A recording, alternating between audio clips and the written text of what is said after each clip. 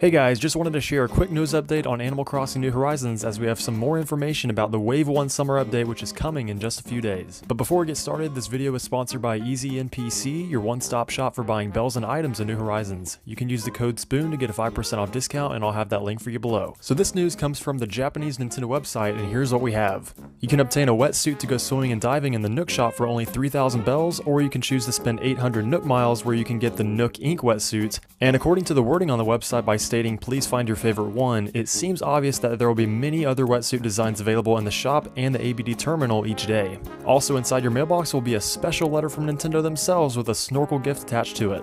And there's even more surprises to come.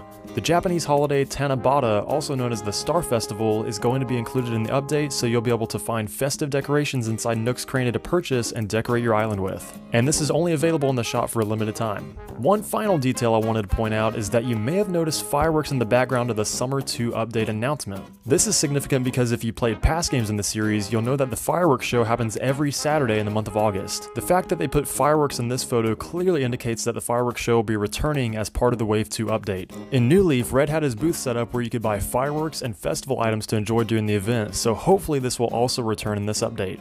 And while the fireworks show in and of itself is a great addition to the Wave 2 update, I imagine there will be other new features added to the game as well. But it seems we'll have to wait a few more weeks to hear what Nintendo's plans are for the update. But what do you guys think about the wetsuit, snorkel mask, and Tanabata news for the Wave 1 update?